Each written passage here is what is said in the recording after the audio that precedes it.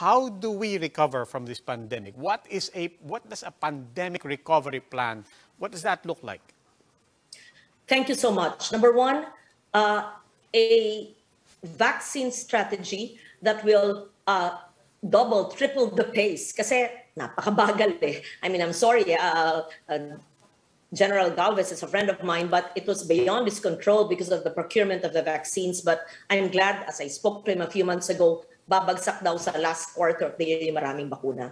So, a super fast vaccination program has to be put in place as clearly vaccination uh, in other countries like the US and in Europe had really normalized uh, the people's lives. But when we return to so-called norm, it cannot be the old norm. It has to be in the new norm, in the better normal. Interventions uh, like sa 4Ps. Ang 4P families, mga apat na milyon.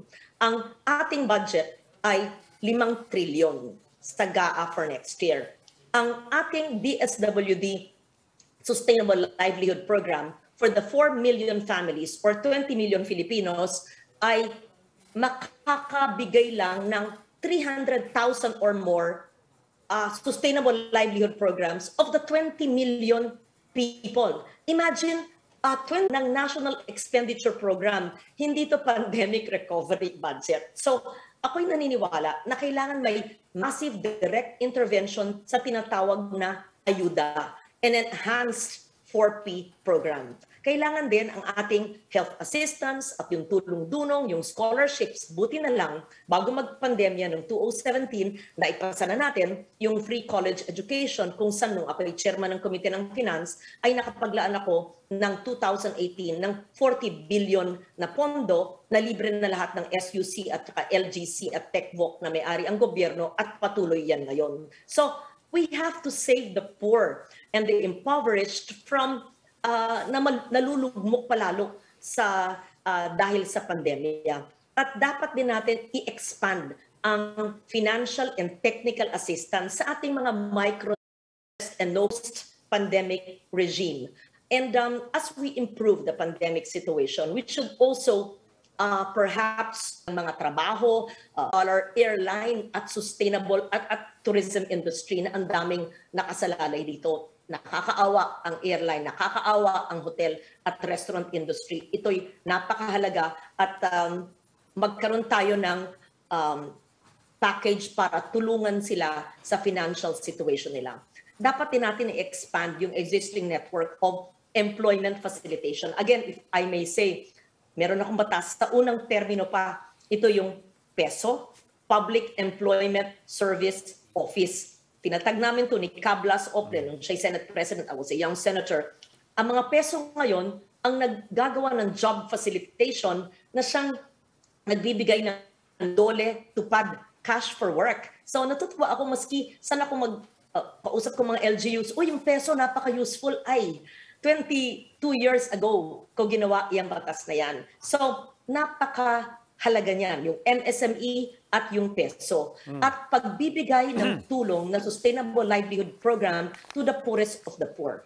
Napakahalaga din sa ating new norm na tinatawag ay yung strengthening ng ating mga telco. Siguro hindi ko na kailangan i um, uh, yung i-expand natin ang return yung barangay kabuhayan law ang TESDA ang nagpapatul. Mm. Ilan lang ito sa aking mga mungkatul. Mm. Ilan lang ito sa aking mga mungkahi sa ating pandemic recovery. Aking mga mungkahi sa ating pandemic recovery.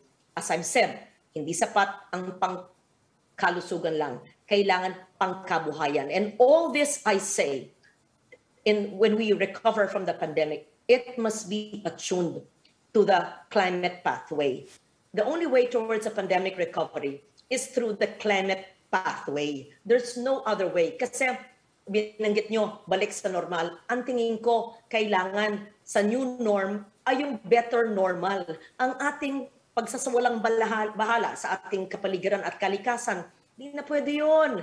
Ang ating uh, pagtatapon kung saan-saan, hindi na pwede yun. Kita natin kung paano tayo lamunin ng, uh, ay, for, for lack of a better word, ng uh, virus, and more viruses, infectious diseases will happen kung hindi natin iakma ang ating pamumuhay sa ating kalikasan.